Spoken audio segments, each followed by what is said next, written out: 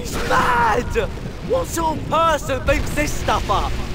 Okay, herbology is next. I hope.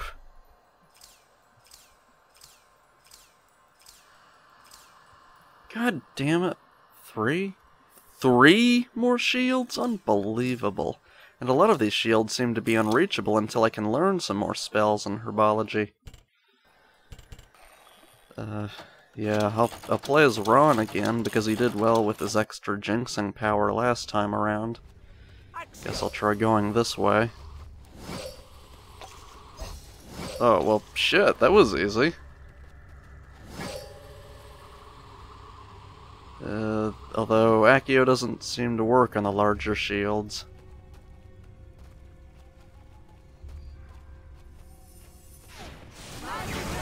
God damn it, I didn't mean to hit that button. I'm just rapidly tapping everything and I hit it by mistake. But it seems that Carpe Retractum doesn't work either, although I should have known better and figured from the get-go that this was too good to be true. I don't know how else to reach it though, but okay, now what? I'm not even sure how much of this place I ended up exploring last time, although I should be able to get into some new areas now that I know to catapult the boob tubes into the mushroom fields. You're no match for Ron Weasley. He has wizarding cards. I mean, yeah, that's all there is to it. You suck shit. Did that just explode into a bunch of pink flowers? I don't understand.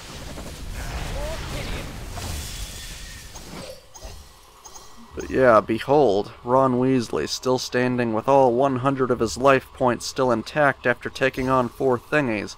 And I think this is where the dragon encounter cutscene played out the last time we were here, where the dragon flew up from that ledge back there that just went off screen. Yeah. Yeah, might as well try to take out two at once. That worked. Those guys popped up pretty late. Unless their plan was to split the party. Shit. Actually, that was great strategy on their part. They popped up right where three Bubotubers would grow again, further making it difficult to shoot jinxes at them through said boob plant. Who sets up lamp posts out here? I still have no idea if these mushrooms that glow blue when you jinx them do anything useful or not. Now pay attention, you two. You're not smart enough to grab the energy-boosting pumpkin by yourself, so I have to trick you into taking your medicine by getting you to stand between me and the pumpkin while I cast Accio. I don't care who gets it so long as it's one of you and not me. I obviously don't need it. Good. You're welcome, Hermione. Actually, it's better she got it because the health points between Harry and Hermione are closer to being balanced now. Hey, this is great. I can try clearing the mushrooms now. God damn it. Uh, oh, did those things have to pop up now? At least I cleared a path. Are you serious? I can't squeeze through here? I gotta deal with these shits, which I'm still not sure if they're a different version of Dugbogs or something else entirely. They really do look more intimidating than they are powerful. A bunch of them swarming towards you at once is annoying, sure, but they're not really that difficult to deal with. Even though I should be good enough, I want to see how much more I can clear away from here.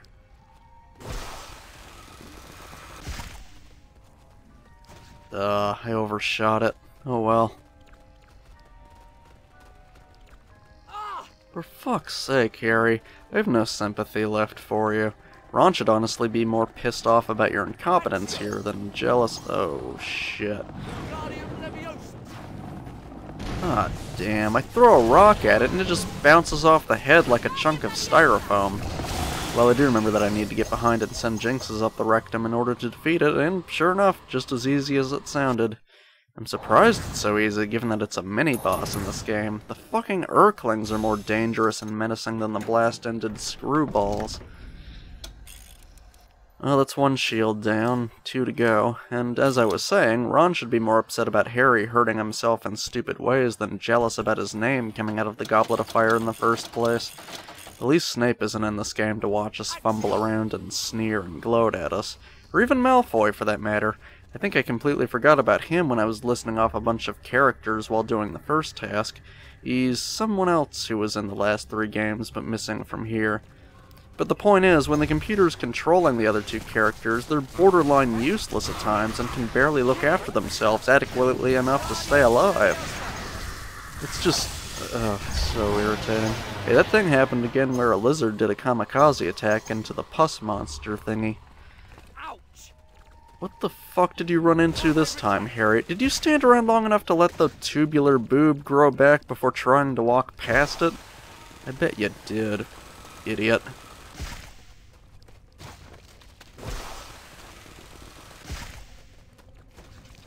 I'm starting to have a bit of trouble launching these things, I think.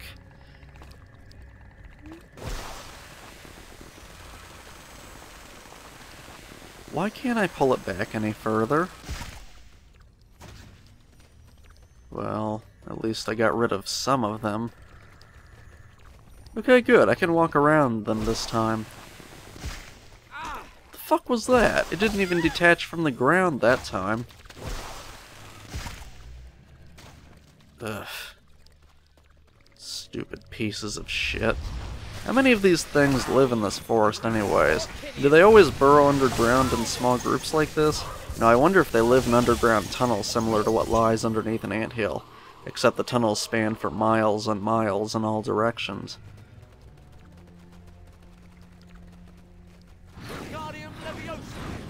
Shit, pick it up please. I think we need to climb on this to get over that wall over there. Get off, guys, the fuck? It's probably my fault, I just need to get on the other side so all of us can push it away from roughly the same position. Yeah, that fixed it. Ooh, so close. Just a little bit more, you two. Think you can handle that? For fuck's sake, hurry up. okay, good. I was worried for a few seconds. Eh, it's a bit tilted. I want to try flinging these things a bit more first, though. Well, that's cool that I can hit one Bubotuber with another, but I couldn't actually see where I was aiming. And if I don't pull back far enough, it stays rooted to the ground and ejaculates slime everywhere.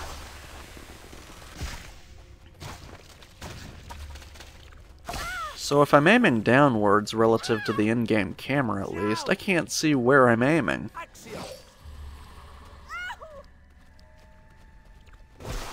think I had that problem when aiming to the side as well. God, how many times can I say it in one series? I hate this camera. Half the time I can never see what I'm doing.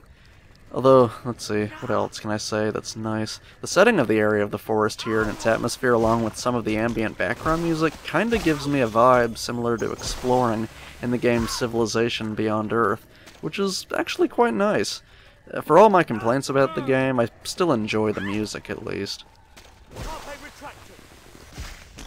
Fuck, I really do want to destroy the rest of the mushrooms, even though I've demonstrated that I can already walk through them.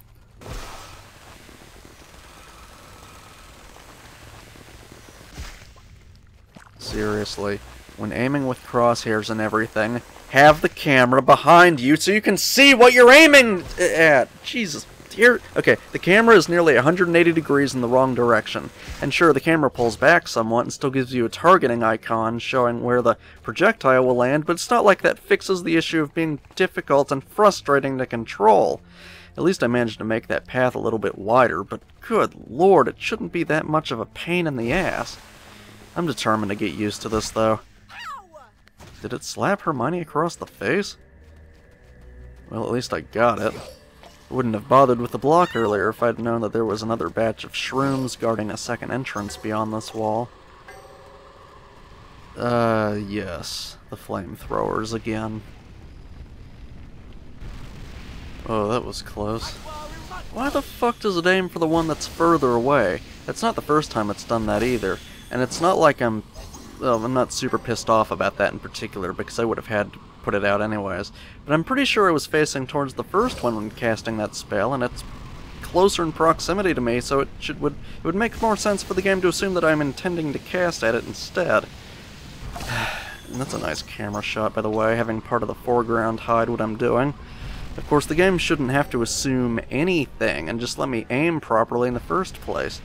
But I guess it feels like it needs to assume what I intend to do because I can't aim properly because I don't have a proper third-person view from behind the playable character. It seems that nearly every frustration I have with this game comes back to that problem of the goddamn in-game camera. Oh yeah, I remember this now. We have to run across the log.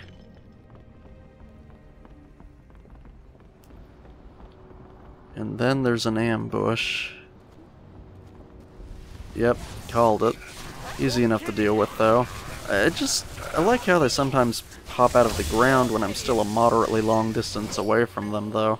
Kinda defeats the whole purpose of an ambush. So this is blocked off? Is this part of the map only reserved for the script where I have to defeat the blast-ended Skrewt to get a shield and get out of the forest the first time around? Let's just assume so. So, was this whole long pathway a dead end now? There's gotta be something else here. There's gotta be something else here. Oh, okay, here we go. New pathway I haven't explored yet. Really? More of these? You'd think that if there was a series of underground tunnels that these things lived in, they would tell the others not to fuck with us, because they keep always getting defeated. Like, oh, wow, yes, another shield. And just like the first one, it's just out of reach. Oh, here we go. Oh, please tell me I can climb this. Okay, maybe there's a pathway onto this rock wall that I have to get on just because I can't take a step upwards onto a tangled vine. I mean, it kind of looks like there's a pathway on that rock. Fucking camera. Ugh, alright.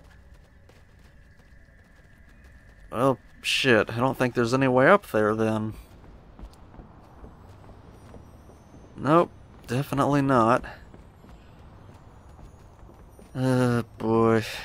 Uh, oh, you know, it might have helped if I had explored a little more around the place where the shield actually was. Or is. It's still there, I haven't gotten it.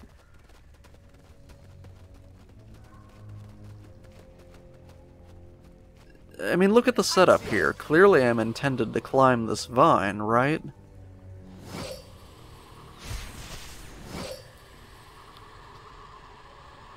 When am I going to learn that Accio doesn't work on the large shields? But because they work on the mini shields, I keep trying even though I know it's useless. None of the spells I know seem to do anything when I'm facing the massive vine.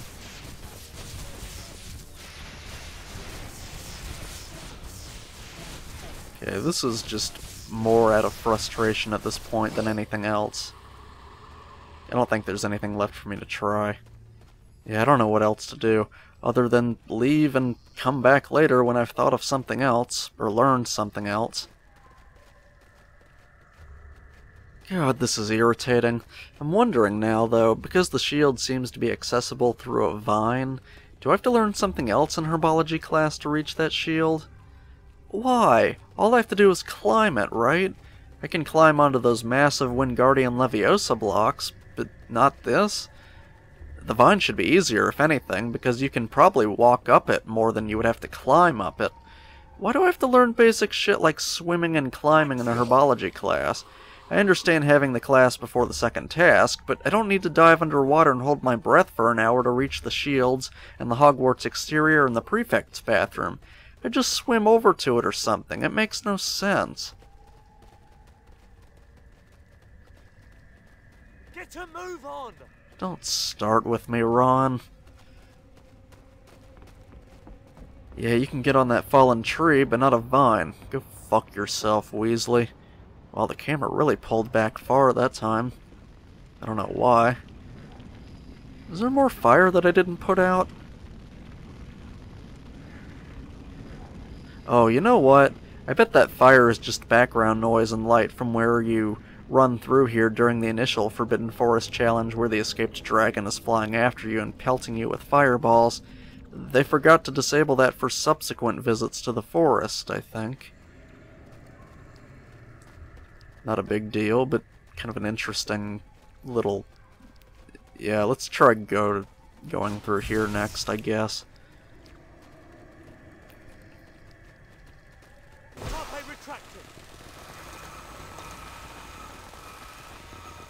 For fuck's sake, I can't move the target further to the right, or Ron's left, because I'm not positioned properly behind the Bubotuber.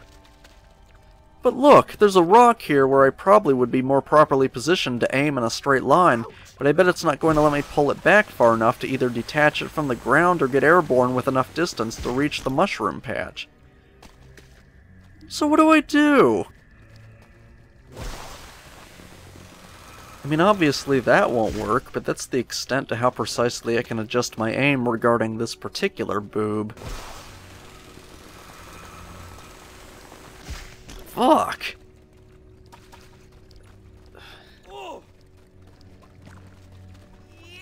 Where does this lead to anyways? Did I even run... Oh, I just had to walk around it. Here's another Bubotuber more properly positioned for that first mushroom patch, but well, no, it's not, actually. I can't get behind it with this other group of mushrooms nearby, so the game must have assumed that I would be coming up the path and not down it.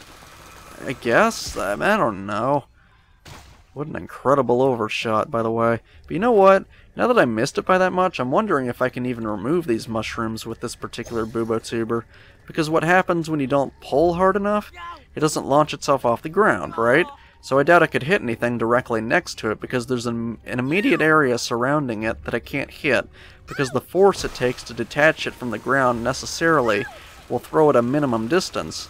Oh, I nearly had the target over a good area though. Oh, here we go. Oh, shit! Okay, you see, that's what I'm talking about. But why display the target at all if I'm not pulling with enough force to throw it any distance? And I thought I was maybe getting the hang of this too. Seriously, this is horseshit. Fuck. Alright, just a moderate amount of force this time. Oh, come on, back, back. Come on, this time. Eh, that was close. I'm not sure I actually hit anything, though. Apparently not. let's try again. What the fuck? What the fuck? Who did that? Was that you, Hermione? We're trying to launch this thing intact, not tear it apart. Again. Damn it! Hey, come on. Fuck. Oh, oh, shit. I did it. I think? I hope? Oh, yeah. Fuck off, Ron. Yeah, this one was more properly positioned too, so I guess I was expected to come up this pathway in the opposite direction.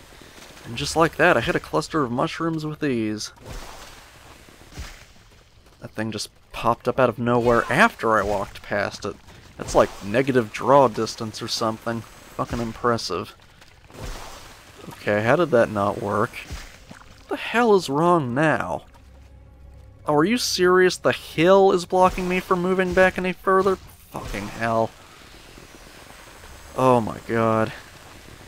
Bullshit, bullshit, bullshit. I look like an idiot, but the control feels like I'm sliding around on ice whenever I hang on to these things. As if Ron can't get any friction between his feet and the ground. Oh, this is where we started from. Oh, okay, I can see why the developers expected me to walk that path in the opposite direction now. I guess I can't be too upset. Frustrated, but not upset at them. And there's still no vine here extending to this shield, so I'm still at a loss for how to grab that one. Yeah, those mushrooms still glow blue. I wonder if there are any organisms in the fungi kingdom that have bioluminescent properties.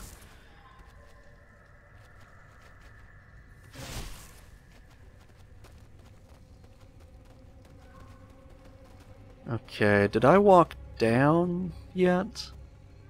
I don't know, this feels vaguely familiar, but at the same time I might be confusing this part of the forest with another area. Well, this kind of ambush is certainly something I'm more familiar with. At least they waited until I was practically on top of them before jumping out at me. I still haven't lost any hit points. The tree is in the way. Seriously, what the fuck? Stupid in-game camera. one of us just ram it back into the ground like a screwdriver? That must have hurt its beak, or whatever. Oh yeah, I have been through here before. I commented earlier about how I remembered a cutscene with the dragon from the last time we were in the forest.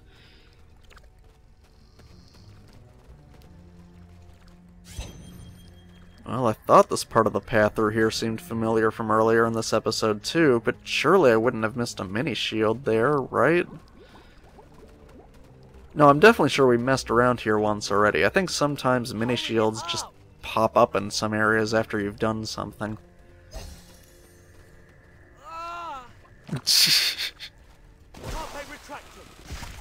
Uh, bullseye. Although even though the target was right on that area, it felt like it landed a bit short, but, well, obviously not. Yeah, now shit's just getting repeated. But I'll tell you what, this raw video footage I recorded is over 42 minutes long, so I'm just gonna cut it in half. I really don't want to do episodes longer than half an hour if I can help it, but 20 minutes seems like a good length to me. Damn, I really got a bullseye that time. How did I still step in some goo regardless? Yeah, I know, I dealt with a blast the Skrewt earlier, but I'll do it again in the beginning of the next episode.